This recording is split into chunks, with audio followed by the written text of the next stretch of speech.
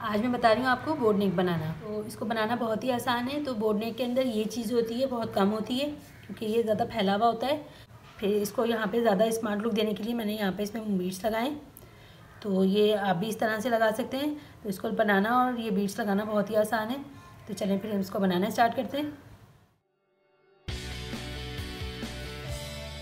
तो ये देखिए मैंने शर्ट की कटिंग कर ली है। तो यहाँ हमें बोर्ड नेक बनानी है इसके अंदर। तो इसको हमें फ्रीजिंग पेपर पे बनाना होगा। तो इसको भी हम साइड में करते हैं। तो यहाँ से देखें, इस तरह मैंने बुकरम को डबल लिया और इसकी मैं आपको चौड़ाई बता देती हूँ। यहाँ हमने देखें, दस इंच चौड़ी बुकरम ली है और इसको मैंने दो डबल रखा हुआ है। तो ये हमारे पास डबल बुकरम है। अब हम इसको एक दफ़ा और डबल कर लेंगे। तो ये हमारे पास फोर फोल्ड हो जाएगी। तो यहाँ से हम इसको रखेंगे चार इंच। तो ये नेक की चौड़ाई होगी हमारी चार इंच। और यहाँ से हम पहले बैक की कटिंग करेंगे। तो बैक की मैं रखूँगी तीन इंच। उसके बाद फ्रंट की मैं चार इंच रखूँगी। तो इस तरह से हम ये बोर्ड टैंक बनाएँगे अपने। तो इसको जो हम शेप देते हैं, वो इस तरह से देते हैं। नेक का शेप हमारा इस तरह से आता है। तो यहाँ से हम एक इंच रखेंगे, पौने से एक इंच यहाँ से रखेंगे बढ़ता हुआ बुकरम को। और सब में इस तरह के बराबर के निशान लगा लेंगे। और इन निशानों को फिर आपस में मिला लेंगे। से अब हम इसकी कटिंग कर लेंगे। यहाँ से भी कटिंग करनी है और यहाँ से भी करनी है।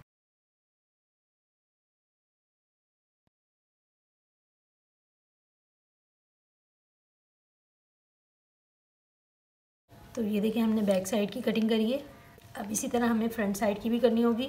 फिर तो फ्रंट साइड जो है, वो हम थोड़ा सा बढ़ा के रखेंगे। आधा इंच इसको बढ़ा देंगे हम। तो यहाँ से हम सिर्फ़ आधा इंच इसको बढ़ाएँगे।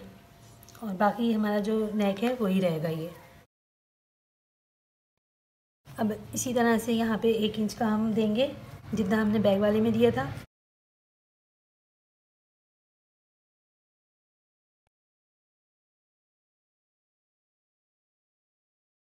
ये देखिए, हमारी इस तरह की वो नेक कटिंग हो गई है। ये एक फ्रंट की है और एक बैक की है। अब यहाँ पे हमें सारे कपड़े पे इसको पेस्ट करना होगा। तो यहाँ देखें, इसमें कपड़ा इतना ज़्यादा नहीं है। तो हम यहाँ पे ये दो पीस हैं इस तरह के तो उसके अंदर ही इसको करेंगे तो इसको यहाँ पे इस तरह से रख के और इस तरीके से हम इसको चिपका लेंगे इसके ऊपर। तो जिस तरह हमने एक लगाया है, इसी तरह हम दूसरा वाला भी गला अपना इसी तरह लगा लेते हैं। तो यहाँ सिलाई जितना मार्जिन छोड़ते हुए हम इसको यहाँ से कटिंग करके निकाल लेंगे। अब इसको यहाँ पे हम इस तरह करेंगे और इसमें सेंट, सेंटर की क्रीज भी डाल लेंगे। तो यहाँ सेंटर से हमने इसमें इस तरह क्रीज डाल ली है इसी तरह दूसरे वाले गले में भी करेंगे तो इस तरह शर्ट को भी डबल कर लेंगे और इसमें भी यहाँ पे भी सेंटर की क्रीज डाल देंगे हम। तो यहाँ सबसे पहले अब हमें यहाँ गले को पहले तैयार करना है। तो इस तरह जो ये एक्स्ट्रा कपड़ा है, इसके ऊपर हम यहाँ पे इस तरह से इसको फोल्ड कर देते हैं।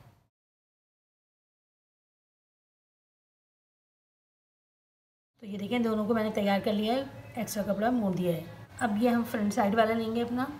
तो यहाँ से देखें इस तरह हमने शर्ट को खोल दिया। और ये जो हमने क्रीज़ लगाया था, इसको आपस में मिलाएँगे हम। ऊपर से बराबर रखते हुए। तो यहाँ देखिए, जो मैंने शर्ट पे क्रीज़ लगाई थी और गले पे भी लगाई थी, इन दोनों क्रीज़ों को आपस में मिलाएँगे। और यहाँ पे हम इस वक्त इसको पिनअप कर देंगे। तो यहाँ देखें मैंने शर्ट का सीधा वाला साइड गले के सीधे साइड से मिलाया और उल्टा साइड जो है गले का, वो हम हमने अपनी तरफ़ रखा। तो इस तरह यहाँ हमें बुकरम के बिल्कुल साथ साथ सिलाई लगानी है। तो यहाँ पे हमने इसको पिनों से जमा लिया है। तो अगर हम इतना भी जमा लेते हैं तो फिर हमारा गला फिक्स हो जाता है अच्छा सा। तो अब यहाँ से हम बिल्कुल इसके साथ सिलाई लगाएँगे। तो इस तरह गले की सिलाई लगाने के बाद हम यहाँ से ये पिने हटा देंगे। और यहाँ से अब हम इसकी कटिंग करेंगे। तो हम यहाँ थोड़ा सा गैप दे के बुकरम से थोड़ा कपड़ा हटा के इस तरह कटिंग कर लेंगे इसकी। अब यहाँ पे हल्के हल्के कट लगा लेंगे।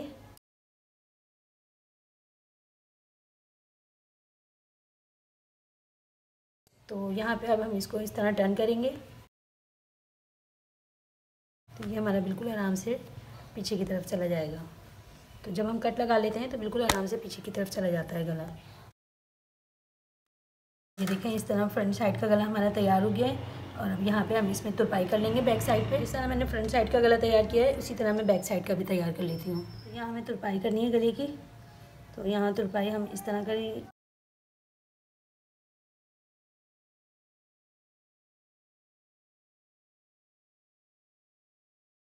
तो ये देखें, इस तरह हमारा ये फ्रंट साइड का बोट नेक तैयार है।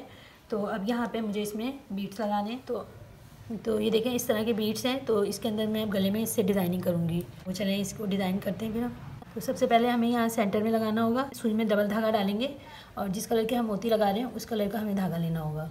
तो सबसे पहले यहाँ सेंटर से हम इस तरह से टाँका उठाएँगे, ताकि इसकी नोट नीचे की तरफ़ चली जाए। तो यहाँ से देखें, दो मोती पे पहले हमने इसमें पुरोए और अब यहाँ से हम इस तरह से छोटा सा टाँका उठाएँगे।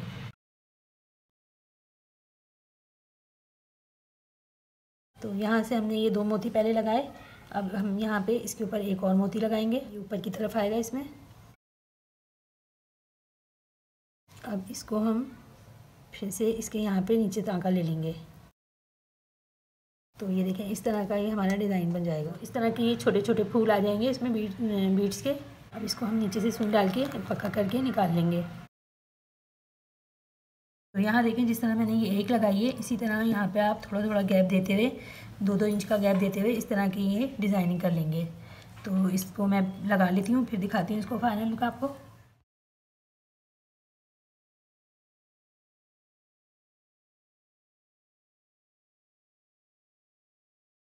तो ये हमने बराबर करके गली के अंदर पूरी लगा ली है। तो ये देखिए फ्रंट साइड वाला हमारा है और ये बैक साइड का है तो इसको यहाँ पे हमें इस तरह खोल के रखना है। दोनों हमने फ्रीजिंग पे बनाए तो इसको यहाँ पे हम खोल के रखेंगे और यहाँ शोल्डर की सिलाई लगाएँगे पहले। तो ये देखिए, शोल्डर की सिलाइयाँ लगा ली हैं, अब हम इसको इस तरह करेंगे। ये सारा खुद ही अंदर की तरफ़ चला जाएगा। तो यहाँ पे मैं एक कच्ची सिलाई लगा लेती हूँ, बैक बैक साइड पे, फिर मैं इसमें यहाँ पे तुरपाई कर लूँगी तो देखिए, ये इस तरह शोल्डर की सिलाइयाँ भी कवर, यहाँ पे कवर हो गई हैं, और ये हमारा खूबसूरत सा बोर्ड नेक भी तैयार हो गया है। तो ये देखें खूबसूरत सा बोर्ड नेक हमारा बन के तैयार है। तो यहाँ पे हमने इसमें ज़्यादा कुछ भी नहीं किया है सिर्फ़ फ्यूजिंग पेपर पर इसको बोर्ड नेक को कटिंग किया है। और इसके ऊपर हमने यहाँ बीट्स लगा दिए तो ये और ज़्यादा स्मार्ट लुक दे रहा है। तो यहाँ पे ये जिस तरह मैंने बीट्स गले में लगाए हैं, इसी तरह ये आप दामन और आस्तीनों में भी लगा सकते हैं। तो इनको लगाना भी बहुत आसान है, बिल्कुल सेकंड सेकंड के अंदर ये लग जाते हैं।